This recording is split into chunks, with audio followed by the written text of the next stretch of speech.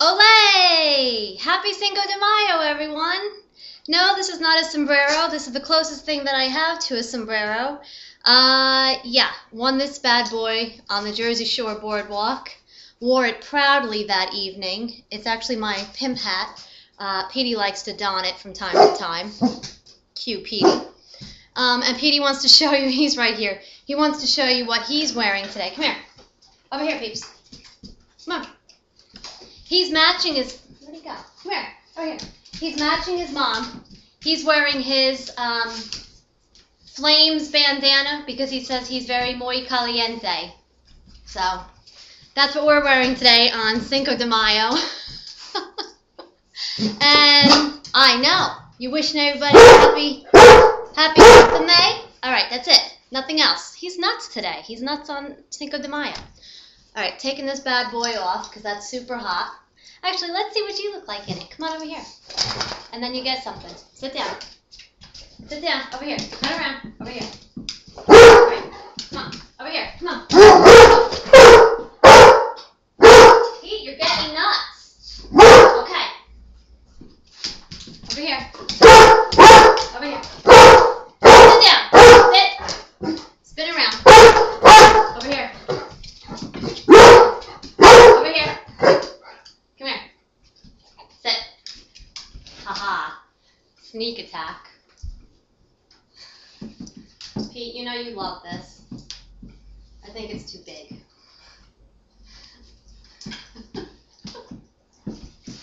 oh, forget it. Thank you. All right. So the real reason why I'm on here today is I wanted to share um, a neat little trick with you that I've been doing with my mascaras that are turning um, dry. Now, I like when my mascara gets a little bit dry. Um, normally when I use a mascara when it's super wet, I don't like it. It just doesn't seem to make my lashes that thick or anything. So I normally like about maybe a week into the mascara is when it starts to get a good texture. But after using a mascara, and my hair is absolutely crazy now, after using a mascara for quite a while, obviously it gets dry. So this is a tip that I always do to um, not necessarily make it more moist, but to get more of the product out. Um, I'm sure a lot of you probably know about this trick, but I thought I would share it anyway. So this is just my Tarte's Lights Camera Lashes mascara that I absolutely love. And what I do is I bend the brush. Um, really, really simple to do. And let me show you how I do it. So this is my Mally, another one of my favorites, volumizing mascara. So normally um, it's starting to get dry, but you know there's a lot more in the container around the sides, but you can't get to it, and you really shouldn't pump your mascara too much. That's how the air gets in, that's how it dries up quicker. So I just, okay, so I take the brush out, right? Put it back in till the top is in. And right where the bristles start, I bend it. So it's the, the bristles are in the thing, I just bend it over, and then you have a bent brush. So now when you go to put it in, it'll go right in, but now it's bent some. So when you go to wiggle it around, not necessarily pump, but just wiggle it around, it's scraping the sides now.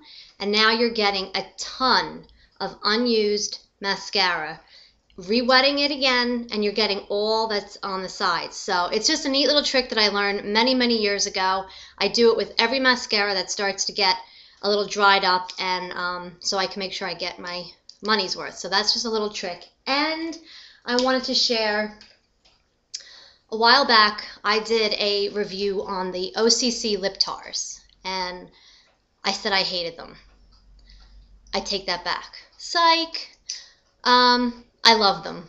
I just was using them incorrectly, which was my own fault. I didn't pay attention to um, the proper way you're supposed to use them. I'm using one today. I absolutely love it. Um, I think they're awesome. They're very different. It's almost like a liquid lipstick, is how I would describe it. I'm wearing the Pretty Beige. Oh, Petty Beige. I think it's supposed to be pretty beige though, when I looked on the website. So I'm using this color today, which is just a gorgeous, gorgeous nude, the perfect nude. Not too light, not too dark, not concealer lip, um, just like the perfect Perfect color. And I love them. So this is what they are. The OCC Obsessive Compulsive Cosmetics Lip Tar. And even though they're small, you will you'll never run out of this because you only need the tiniest, and I mean tiniest amount out of this tube to put on your lips. I applied mine with a lip brush just so that I can get around the edges. You can, if you want, just use it right out of the tube. It's just like a lip gloss tube. But um, I like to get it because it's very pigmented and very opaque. Um, and I feel that if I was just to put it on like that, it could kind of look sloppy. So I like to apply it with a lip brush. I can't say enough good things about these. The problem what I had last time, I was using these as a lip gloss because I saw them and I'm like, oh, these are cool lip glosses. No. You shouldn't put them over lipsticks. And the problem I had with that is when I put it over the lipstick, it kind of just looked terrible. It went into all the lines it pooled like in the lines of my mouth. It was streaky looking. It just looked terrible. Applying it by itself is a world of difference. So I wanted to come on here and correct myself because I was wrong. I was using it improperly. Now that I'm using it the correct way, I just can't say enough good things about it. So the colors that I have are Cha Cha, which is just a gorgeous, gorgeous melon color. Absolutely love this color. And again, it's Cha Cha. Love the name. I also have Trick, which is also a nude, um, more on the pink side. And then again, it says petty beige, but I think it's pretty beige. And these are the two next to each other. So you can see this one has more of a pink to it, and this one is a true beige. I definitely want to go and pick up a few more um, because I love them. As you can see, they have a nice shine to them um, and they have a minty flavor. Not over the top, just like a nice, freshening, minty flavor, which I love. Um, and you can see the shine. There's no gloss on my lips, just just this. So I'm absolutely loving these. Now I can see why everybody under the sun raves about them. I think I was like the only person who was just like, Mom, I don't like them. Well, duh, Jen, learn how to use them first before you give your opinion. So anyway, that was just my quick tip and my review on the OCC lip tars. Absolutely love them. I bought mine off of All Cosmetics Wholesale.